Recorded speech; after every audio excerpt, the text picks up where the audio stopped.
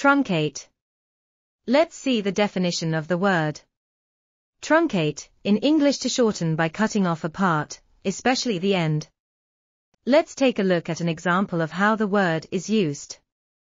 The table had to be truncated to fit the room. You're welcome.